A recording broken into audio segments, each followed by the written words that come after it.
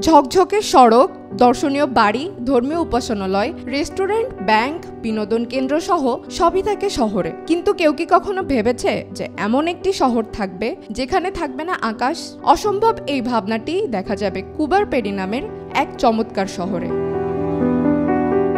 আধুনিক প্রযুক্তি সুবিধার কোনোটিরই কমতি নেই এই বিস্ময়কর শহরে। কেবল মাথার ওপর একটা বিশাল আকাশ ছাড়া। এ শহরে আকাশ দেখা যায় না কখনো, কারণ শহরটি মাটির নিচে। অস্ট্রেলিয়ার এডিলেট থেকে আটশো ছেচল্লিশ কিলোমিটার উত্তর পশ্চিমে মরু অঞ্চলে অবস্থিত শহর কুবারপেরি। তবে এই সুন্দর নামের পেছনেও রয়েছে ইতিহাস। শহরের আদি বাসিন্দাদের ব্যবহৃত দুটি শব্দ কুপা ও পিটি থেকে এসেছে এই নাম, যার অর্থ সাদা মানুষের গর্ত।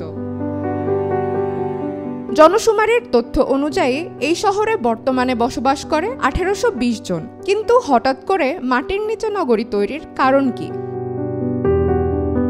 উনিশশো চোদ্দ সালে স্বর্ণের সন্ধানে উইল হাজিসন আসেন এখানে। তখন এ শহর ছিল বিরান মরুভূমি। তবে স্বর্ণের সন্ধান না মিললেও নিরাশ হতে হয়নি তাকে। ঝুলি ভরে নিয়ে যান বহুমূল্য ওপাল। এরপরই ওপালের খোঁজে শুরু হয় সাদাদের আনাগোনা। খোঁড়াখুড়ি করে ওপাল পাঠানো হতো পৃথিবীর বিভিন্ন প্রান্তে। এজন্যই স্থানীয়রা এই জায়গার নাম দেয় সাদা মানুষের গর্ত।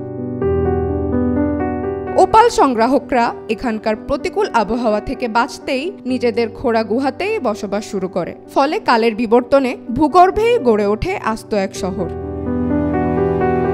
কুবারপেডিতে রয়েছে ষাটটি ওপাল খনি, দুইশো বিলিয়ন তেলের মজুদ, যা অস্ট্রেলিয়াকে বানিয়েছে বিশ্বের অন্যতম রপ্তানিকারক দেশ।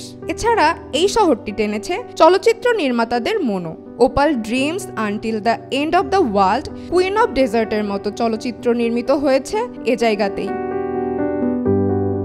কাঠফাটা রোদ বা কনকনে ঠান্ডা। বাইরের আবহাওয়া যেমনই হোক না কেন, কুবার পেডিতে সবসময় বিরাজ করে স্বাভাবিক তাপমাত্রা। এমনকি বিনোদনের খোরাক হিসেবে ফুটবল এবং গলফ ক্লাবও রয়েছে এখানে। দিনের গরম থেকে গা বাঁচিয়ে রাতে মাটির নিচেই চলে গলফ খেলা। চন্দ্রিকা মজুমদার, আজকাল।